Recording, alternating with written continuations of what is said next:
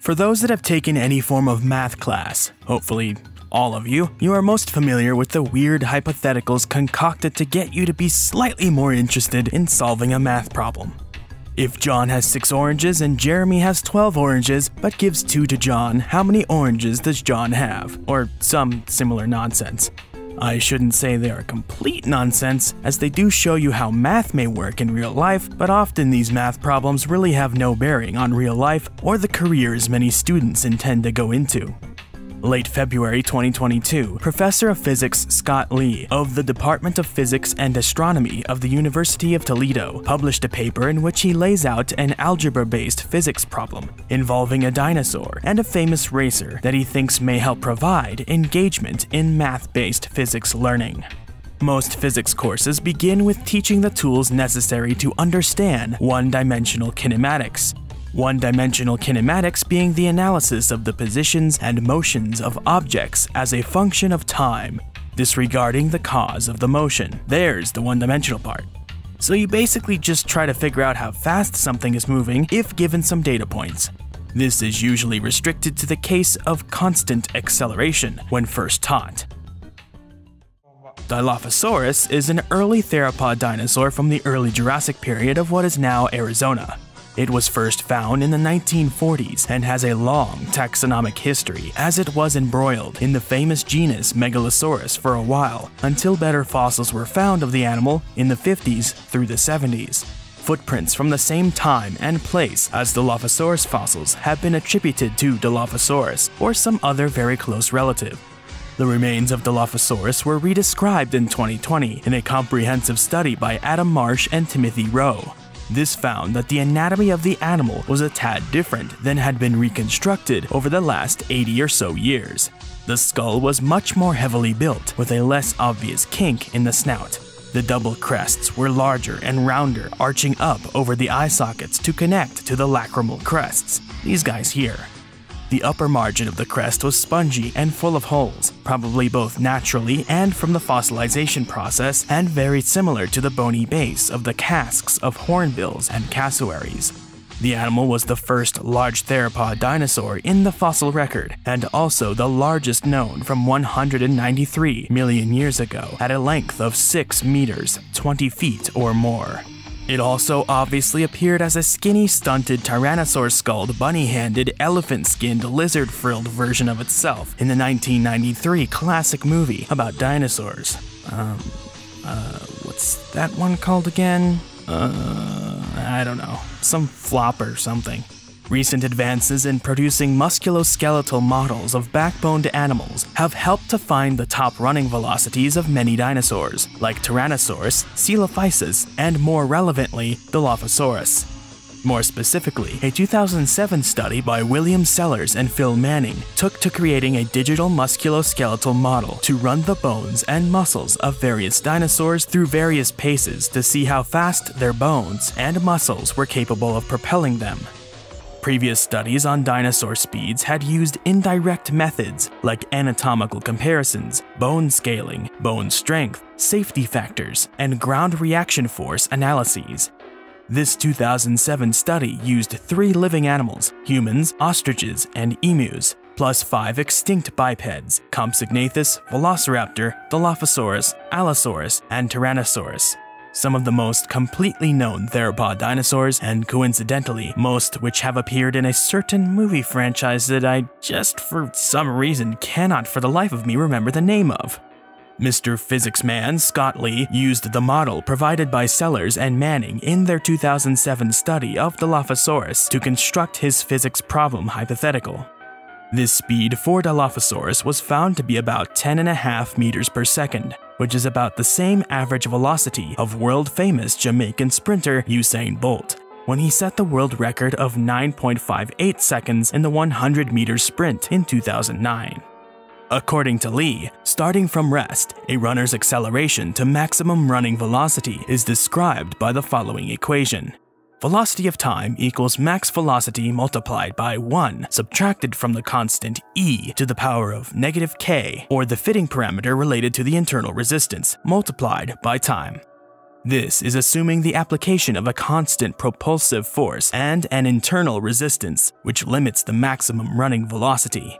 According to Lee, a fit of this equation to the velocity data of Usain Bolt results in max velocity equals 12.08 meters per second plus or minus 0.04 and k equals 0.821 seconds plus or minus 0.009. We already have the max velocity for Dilophosaurus as 10.5 meters per second. To determine k for living animals, this equation is used. k equals c times m to the negative 0.15, with m being the mass of the animal. The measured values of k for the lion, wildebeest, zebra, Thomson's gazelle, and Usain Bolt are used to evaluate the parameter c, which is then used to determine k for Dilophosaurus with k being k equals 0.400 plus or minus 0.223 s to the negative 1. Here is a figure produced by Lee which shows a comparison of running velocity as a function of time for Bolt and the Dilophosaurus. As Lee states, the solid line in figure 1 is a fit of equation 1 to the running data of Usain Bolt. Though the students in the first semester of our introductory algebra-based physics course don't have the necessary background to perform such a fit themselves, they appreciate the quality of the fit to the experimental data for Usain Bolt. For this one-dimensional case, the acceleration is the derivative of the velocity with respect to time. That would be this equation here. a of t equals dv over dt multiplied by max velocity k and e to the negative k multiplied by t. The maximum acceleration happens at the beginning of movement, time equals zero, and is given by this equation. Max acceleration equals max velocity times k. As the paper continues, for this race, Usain's maximum acceleration in the horizontal direction was a max equals 9.91 plus or minus 0.11 meters per second squared, approximately the same as the acceleration due to gravity. Since I despise math in all instances except for when it is absolutely necessary, which is most of the time unfortunately, I will be quoting a lot from Lee's paper. I don't have the mental capacity to simplify and summarize math concepts, but you know, I'll do my best when the opportunity arises. So, Lee states that there are sound pedagogical reasons for the emphasis on constant acceleration found in the traditional treatment. Pedagogy being the method or practice of teaching, or how someone teaches another. In other words, the emphasis on using constant acceleration in math problems for people learning physics or calculus has roots in how to get the fundamentals of this type of math across to the student. Lee goes on, the kinetic equations derived for constant acceleration permit the solution of a variety of problems as well as leading to parabolic motion for projectile motion. That's how you get the curve, or parabola, in the graph of the equation for the projectiles, Bolt and Dilo, Despite how constant acceleration in the vacuum of a math problem is good for teaching fundamentals, real-world acceleration doesn't always work that way. It's usually variable. Lee states that this Dilophosaurus versus Usain Bolt math activity provides the student the knowledge needed to handle such variable world situations, Lee continues, the activity starts with velocity as a function of time of both Usain Bolt and Dilophosaurus. Using a spreadsheet for the calculations, the displacement is determined by calculating the area under the velocity versus time curve, while the acceleration is determined by calculating differences. These calculations have the pedagogical benefit of reinforcing the concepts of integration and differentiation. A model of Dilophosaurus wetherilli, shown in Figure 2, is brought to the classroom and passed around by the students. The masses of Dilophosaurus and Usain Bolt are 400 and 86 kilograms respectively. After reminding the students about the definition of average velocity, the class is asked to write their opinion of who would win a 100 meter race between Usain Bolt and the Dilophosaurus, and to provide their logic used to reach their conclusion, Lee wrote. I mean, a life-size skull cast of a Dilophosaurus might have been better than a monsterized version of the animal from Papo, but who would be so cool as to have a Dilo skull on hand? I mean, I will have one on my desk when I become a professor, but who could really be as cool as me? As the activity continues, the students are asked to write their complete opinion in order to provide the logic supporting their opinion. The students are then asked to share their thoughts with their neighbor before a class-wide discussion is held. Scott Lee is a physics professor at a college, but coming from my own experience, this sort of activity would make me want to plunge daggers into my eyes. Literally no offense meant to Lee. Despite the potential cringe of having to talk to other people you may or may not hate, a dinosaur math problem is definitely more intriguing than oranges being moved by gravity, or some weird synchrotron hypothetical. This Dilo v Bolt question is designed to emphasize the difference between average and instantaneous velocities. Most students, while writing their logic for their prediction, arrive at the correct logic. The fact that the average velocity of Usain Bolt over the 100 meter race matches the maximum velocity of Dilophosaurus means that Usain Bolt will win the race. This activity is part of Lee's conclusion of the study of one-dimensional kinematics in order to connect the numerical methods used in this activity with earlier work for constant acceleration. Lee first considered a particle starting from rest and accelerating at a constant rate to a final velocity. As the study states, typically, the acceleration is 2 meters per second square, and the final velocity is 10 meters per second. Since we are starting with velocity data, we emphasize that the displacement is given by the area under the v versus t curve, and that the acceleration is the slope of the tangent to the velocity curve. Using a spreadsheet program, such as Microsoft Excel, the students calculate the velocity every 0.02 seconds for 5 seconds. The students calculate the area in each time interval, 0.02 seconds, by multiplying the time interval by the average velocity during that interval. The total displacement is then determined by summing all of these individual displacements. Since the geometric shape is a right triangle, they also calculate the area using the formula of the area of a right triangle. A comparison between these two results should yield excellent agreement, with no error. The students also determine the acceleration by calculating the slope of the velocity versus time curve for every time interval.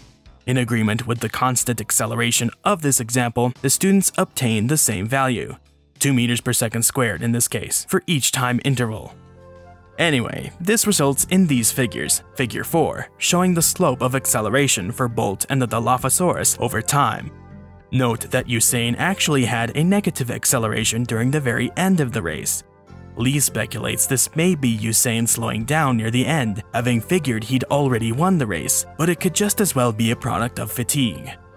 Dilophosaurus shows an initial acceleration of 4.1 meters per second squared, essentially the same as the 4.2 meters per second squared calculated by using equation 2 with Vmax equals 10.5 meters per second and k equals 0.4 s to the negative 1. Comparison of the two parts of figure 4 show why Usain Bolt would win such a race.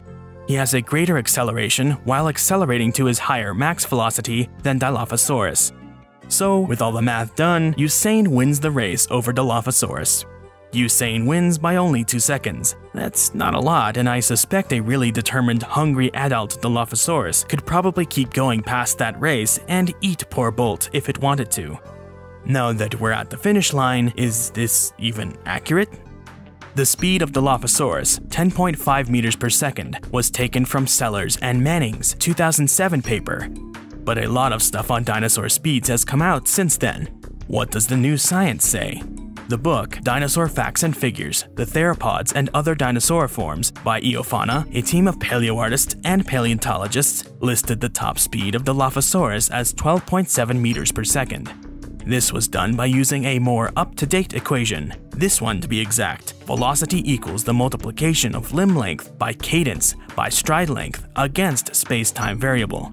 You get some of those with this chart, but it equates to Dilophosaurus running up to 12.7 meters per second, catching up to Usain and eating him without much effort. Oh well, it's still a cool math problem that would probably get students more involved. For more interesting stories about nature, the history of life, or what goes bump in the night, subscribe, hit the bell icon for updates, like this video, and drop a comment in the comment section below. Thanks for watching. Special thanks to my elephant tier patrons Ray, Isaiah Garza, Dinosaur, Christoph Hubinger, Biotaverse, and Arda Bayer. And another thanks to my Tyrannosaurus tier patrons, The Dogman, Iron Bladesman, Danny Van Heck, and Dana Manchester.